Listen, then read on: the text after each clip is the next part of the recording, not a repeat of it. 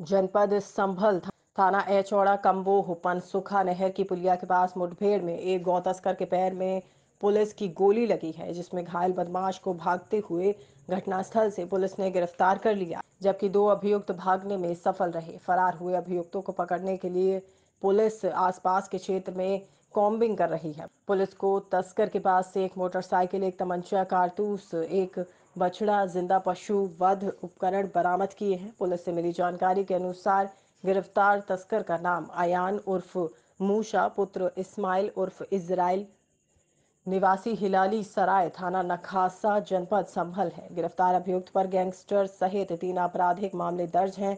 मुठभेड़ की सूचना मिलने के बाद मौके पर अपर पुलिस अधीक्षक उत्तरी श्री चंद्र सीओ असमौली संतोष कुमार मौके पर पहुँच गए। पुलिस टीम ने थाना इंस्पेक्टर रेणु देवी, प्रभारी सर्विलांस रामवीर सिंह, एसओजी प्रभारी दीपक राणा सहित पूरी टीम मौजूद रही।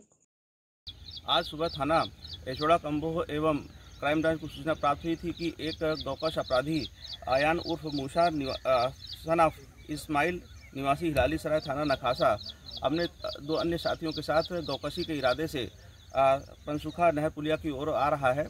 इसी सूचना पर पुलिस द्वारा गाड़ाबंदी की गई तो यह अपने साथियों के साथ जाता हुआ दिखाई दिया, जिसे रोकने की कोशिश की गई। तो इसके इसके साथियों के द्वारा पुलिस पार्टी में फायरिंग की गई। जवाबी फायरिंग में इसके पैर में गोली लगी है एवं इसके अन्य दो साथी भागने में सफल रहे हैं।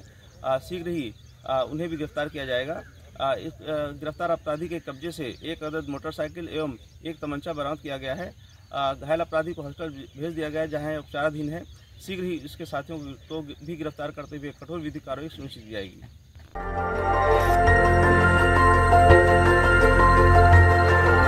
देखते रहिए डीबी भारती समाचार।